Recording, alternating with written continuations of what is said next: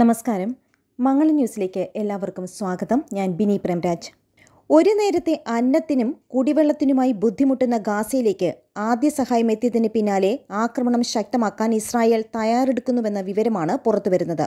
Gaza മുൻപിൽ ബോംബാക്രമണം കൂടുതൽ കടുപ്പിക്കുവാനും ഇനിയും ഗാസയിൽ തുടരുന്നവരെ ഹമാസായി കണക്കാക്കി നേരിടുമെന്ന മുന്നറിയിപ്പ് നൽകിയിരിക്കുകയാണ്. ഇതോടെ പശ്ചിമേഷ്യയിൽ യുദ്ധം ലോകയുദ്ധത്തിന് വഴിമാറാനുള്ള സാധ്യതയും ഏറെയാണ്. വ്യോമാക്രമണം കൂടുതൽ ശക്തമാക്കുകയും കരയുദ്ധം കടുപ്പിച്ച ഹമാസിനെ തുടച്ചു നീക്കുവാനുമാണ് തീരുമാനം.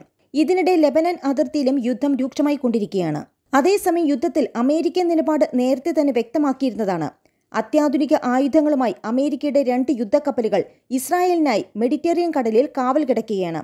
എന്നാൽ കഴിഞ്ഞ ദിവസം ചൈനയുടെ ആറ് യുദ്ധക്കപ്പലുകൾ കൂടി എത്തിയതോടെ യുദ്ധം പശ്ചിമേഷ്യ മാത്രമല്ല ലോകയുദ്ധമായി മാറുമോ എന്ന ആശങ്കയും ഉയർത്തിയിരിക്കുകയാണ്. ഗാസയിലേക്കുള്ള റഫ അതിർത്തി ഈജിപ്റ്റ് തുറന്നതോടെ യുദ്ധം തുടങ്ങി പതിനാല് ദിവസങ്ങൾക്ക് ശേഷം ഗാസയിലേക്ക് മരുന്നും ഭക്ഷണവും എത്തിത്തുടങ്ങി. ഇരുപത്തിമൂന്ന് ലക്ഷം ജനങ്ങളുള്ള ഗസയിലേക്ക് ദിവസവും വെറും ഇരുപത് ട്രക്കുകളിലാണ് ഭക്ഷണവും മരുന്നും എത്തുന്നത്. വേണ്ടതിന്റെ ആയിരത്തിലൊന്നു പോലും ആകുന്നില്ല എന്നതാണ് സന്നദ്ധ സംഘടനകൾ പറയുന്നത്. എങ്കിലും പതിനാല് ദിവസമായി വെള്ളം പോലും കിട്ടാത്ത ഗസയിലെ മനുഷ്യർക്ക് നേരിയ ആശ്വാസമാണ് റഫ അതിർത്തി തുറന്നത്. ഈ സഹായം ഗസയിൽ നിന്നും ഒഴിഞ്ഞു പോകുന്നതിന് വേണ്ടി നൽകുന്നു എന്നതാണ് ഇസ്രായേലിന്റെ നിലപാട്. ഗാസ മുനമ്പിൽ കടന്നാൽ ഇസ്രായേൽ സൈന്യം കനത്ത വില നൽകേണ്ടി വരുമെന്ന് ലെബനോൻ ആസ്ഥാനമായ ഹിസ്ബുല്ല തിരിച്ചടിച്ചതോടെ ലെബനോനും പാലസ്തീന് സംരക്ഷണം നൽകുമെന്ന് ഉറപ്പായിരിക്കുകയാണ്. യുദ്ധത്തിന്റെ നടുവിലേക്ക് ഹിസ്ബുള്ള സൈനികർ ഇറങ്ങിക്കഴിഞ്ഞുവെന്ന് ഉന്നത നേതാവിനെ ഉദ്ധരിച്ച് വാർത്താ ഏജൻസി റിപ്പോർട്ട് ചെയ്തു. പതിനാല് ദിവസത്തിന് ശേഷം ഗസയിലേക്ക് സഹായമെത്തുകയും രണ്ട് അമേരിക്കൻ ബന്ധികളെ മോചിപ്പിക്കുകയും ചെയ്തു. ഈ പശ്ചാത്തലത്തിൽ യുദ്ധത്തിന് നേരിയ അയവ് വന്നേക്കുമെന്ന് പ്രതീക്ഷ ഉയർന്നിരുന്നു. ഇതിനിടെയാണ് വിട്ടുവീഴ്ചയില്ല എന്ന് ഇസ്രായേൽ വ്യക്തമാക്കി കരയുദ്ധം നടത്തുമെന്ന് പ്രഖ്യാപിച്ചത്. അതിനിടെ American president Joe Biden Hamas മോചിപ്പിച്ച വനിതകളോട് വീഡിയോ കോളിലൂടെ സംസാരിച്ചു. പാലസ്തീൻ ജനത എവിടേക്കും ഓടിപ്പോകാൻ ഉദ്ദേശിക്കുന്നില്ല എന്നും മാതൃരാജ്യത്ത് തുടരുമെന്നും പാലസ്തീൻ പ്രസിഡന്റ് മഹ്മൂദ് അബ്ബാസ് പ്രതികരിച്ചിട്ടുണ്ട്. ഈജിപ്തിലെ കെയറോബിയിൽ അറബ് ഉച്ചകോടിയുടെ ആമുഖ പ്രസംഗത്തിലാണ് പാലസ്തീൻ പ്രസിഡന്റ് നിലപാട് വ്യക്തമാക്കിയത്.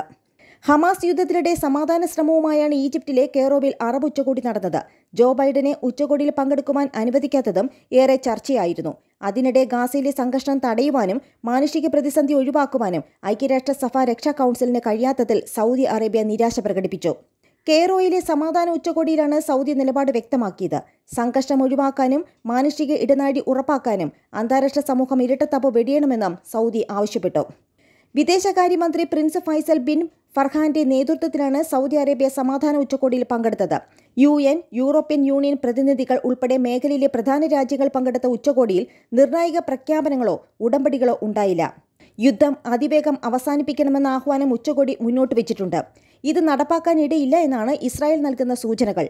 Qatar U A E Saudi Arabia Bahrain Kuwait Jordan Iraq Cyprus രാജ്യങ്ങളാണ് ഈജിപ്തിൽ ഒത്തുചേർന്നത് ഇവർക്കൊപ്പം ഐക്യരാഷ്ട്രസഭ ജനറൽ സെക്രട്ടറിയും ജപ്പാൻ ജർമ്മനി തുർക്കി ഗ്രീസ് എന്നീ രാജ്യങ്ങളിലെയും ഫലസ്തീന്റെയും പ്രതിനിധികൾ ഉച്ചകോടിയിൽ പങ്കെടുത്തു. അറബ് ലീഗ് സെക്രട്ടറി ജനറൽ അടക്കമുള്ളവരും കേറോയിൽ ചേർന്ന ഉച്ചകോടിയിൽ പങ്കെടുത്തു. വ്യോമാക്രമണം തുടരുന്ന ഗസയിൽ മരണം അയ്യായിരത്തിലേക്ക് അടുക്കുകയാണെന്നാണ് റിപ്പോർട്ടുകൾ. വടക്കൻ ഗാസയിൽ നിന്ന് വേദനദി കടന്ന തെക്കൻ ഗാസയിലേക്ക് പലായനം ചെയ്തവരുടെ എണ്ണത്തിൽ വലിയ വർധനമാണ് ഉണ്ടായിരിക്കുന്നത്. നേരത്തെ റഷ്യൻ യുക്രൈൻ യുദ്ധത്തിനും പലതവണ ലോകമഹായുദ്ധത്തിലേക്ക് വഴിമാറുമോ എന്ന് ഭയപ്പെടുന്ന സാഹചര്യങ്ങൾ ഉണ്ടായിരുന്നു. എന്നാൽ അതിനേക്കാൾ ഗൗരവമാവുകയാണ് ഇസ്രായേൽ ഹമാസ് സംഘർഷം. ഭീകരർക്കെതിരെ പോരാടുന്ന ജനാധിപത്യ രാജ്യത്തിന് പിന്തുണയുമായി അമേരിക്ക രംഗത്തെത്തിയിട്ടുണ്ട്. ഇപ്പോഴിതാ ചൈന അവരുടെ ആറ് യുദ്ധക്കപ്പലുകളുമായി മെഡിറ്ററേനിയൻ കടലിൽ തങ്ങുകയാണ്. എന്നാൽ ഇത് ഒരു സാധാരണ പരിശീലന നടപടി മാത്രമാണെന്നാണ് ചൈന വ്യക്തമാക്കുന്നത്. പീപ്പിൾസ് ലിബറേഷൻ ആർമിയുടെ ഈസ്റ്റേൺ തിയേറ്ററിൽ നിന്നുമുള്ള കപ്പലുകൾ ഇന്നലെ ഒമാൻ തീരം വിട്ടു. എന്നാൽ എവിടേക്കാണിത് സഞ്ചരിക്കുന്നത് എന്നതിന് വ്യക്തതയില്ല. നേരത്തെ മസ്കറ്റിൽ വെച്ച് ചൈനീസ് സൈന്യവും ഒമാൻ സൈന്യവും ഒരു സംയോജിത സൈനിക പരിശീലനം നടത്തിയിരുന്നു. ഇതിന്റെ ഭാഗമായി ചൈനീസ് സൈനിക കമാൻഡർമാർ ഒമാൻ സൈനിക ഉദ്യോഗസ്ഥരുമായി കൂടിക്കാഴ്ച നടത്തുകയും സൈനിക ആസ്ഥാനങ്ങൾ സന്ദർശിക്കുകയും ചെയ്തിരുന്നുവെന്ന വിവരവും പുറത്തുവരുന്നുണ്ട് അറബ് രാജ്യങ്ങളുടെ ഉച്ചകോടിയിലെടുത്ത തീരുമാനങ്ങൾക്ക് ചൈന പിന്തുണ നൽകിയതായുള്ള വിവരങ്ങളും പുറത്തുവരുന്നുണ്ട് വിവിധ ഗൾഫ് രാജ്യങ്ങൾ തമ്മിലുള്ള തർക്കം പരിഹരിച്ചതിൽ ചൈനീസ് പ്രസിഡന്റ് ഷീപ്പിംഗ് നേടിയ വിജയം അറബ് രാഷ്ട്രങ്ങൾക്ക് വലിയ പ്രതീക്ഷയാണ് നൽകിയിട്ടുള്ളത്. കഴിഞ്ഞ ആറു മാസത്തിലേറെയായി ചൈനീസ് യുദ്ധക്കപ്പലുകൾ മധ്യപൂർവദേശത്ത് തന്നെ കറങ്ങിത്തിരിയുകയാണെന്നാണ് ചില റിപ്പോർട്ടുകൾ പറയുന്നത്. സൊമാലിയയ്ക്ക് വടക്കുമാറിയുള്ള എഡൻ കടലിടുക്കിലായിരുന്നു ഇത് ആദ്യം എത്തിച്ചേർന്നത്. അതിനിടയിൽ ഇസ്രായേൽ ഹമാസ് പ്രശ്നം പരിഹരിക്കാൻ ഒരു ദ്വിരാഷ്ട്ര ഫോർമുലയ്ക്ക് മാത്രമേ കഴിയൂ എന്ന് ചൈനീസ് പ്രസിഡന്റ് ഷി ജിൻപിങ് പ്രസ്താവിച്ചു. സംഘർഷം കൂടുതൽ വ്യാപകമാകാതിരിക്കാൻ എത്രയും പെട്ടെന്ന് വെടിനിർത്തൽ നിലവിൽ വരുത്തുക എന്നതിനാലാണ് ഇപ്പോൾ പ്രാധാന്യമെന്നും അദ്ദേഹം പറഞ്ഞു.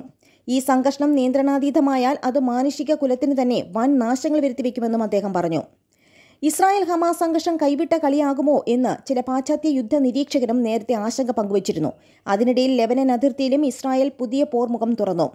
ഹിസ്ബുള്ള തീവ്രവാദികളെ നേരിടാനാണിത്. ലെബനീസ് അതിർത്തിയോട് ചേർന്നുള്ള കീരിയാറ്റ് ഷ്മോണ പട്ടണത്തിൽ നിന്നും ഇരുപതിനായിരം പേരെ മാറ്റിപ്പാർപ്പിച്ചതായി ഇസ്രായേൽ അറിയിച്ചു. ഇസ്രായേലിന് കൂടുതൽ വ്യോമ പ്രതിരോധ സംവിധാനങ്ങളും ആയുധങ്ങളും അമേരിക്ക എത്തിച്ചതായും റിപ്പോർട്ടുകളുണ്ട്. കിഴക്കൻ മെഡിറ്ററേനിയയിലേക്ക് ഒരു വിമാനവാഹിനി യാത്ര തിരിച്ചതായും പറയുന്നു. വരും ദിവസങ്ങളിൽ മറ്റൊരു വലിയ യുദ്ധക്കപ്പൽ കൂടി ഈ മേഖലയിലെത്തും. അറിയിപ്പ് ലഭിച്ചാൽ ഇരുപത്തിനാല് മണിക്കൂറിനകം പ്രവർത്തനക്ഷമമാക്കാൻ പാകത്തിൽ രണ്ടായിരം സൈനികരെ അമേരിക്ക ഇവിടെ സജ്ജമാക്കി നിർത്തിയിരിക്കുന്നു. വെള്ളിയാഴ്ച ഇസ്രായേലിനെ പ്രതിരോധിക്കാനായി യമനിലെ ചെങ്കടൽ തീരത്ത് അമേരിക്കൻ യുദ്ധക്കപ്പലുകൾ വെടിയുതിർത്തു. ഇറാൻ ആസ്ഥാനമാക്കി പ്രവർത്തിക്കുന്ന ഹൃത്തി വിമത് ഇസ്രായേലിന് നേരെ അയച്ച പതിനഞ്ചോളം ഡ്രോണുകളും നാല് ക്രൂയിസ് മിസൈലുകളും അമേരിക്കൻ സൈന്യം വെടിവെച്ചിട്ടു. ഇറാഖിലെയും സിറിയയിലെയും സൈനിക ആസ്ഥാനങ്ങളെയും ഇറാനിൽ നിന്നുള്ള ഭീകരർ ലക്ഷ്യം വയ്ക്കുന്നുണ്ട് അമേരിക്കയും ചൈനയും യുദ്ധക്കപ്പലുകളുമായി കാത്തുകിടക്കുന്നത് അറിഞ്ഞുകൊണ്ട് വിവിധ ഭീകര സംഘടനകളും ആയുധമായി ഏത് സമയത്തും മറ്റ് രാജ്യങ്ങളെ ആക്രമിച്ച് യുദ്ധം വ്യാപിപ്പിക്കാൻ ശ്രമിക്കുന്നുവെന്ന് വ്യക്തമാണ്.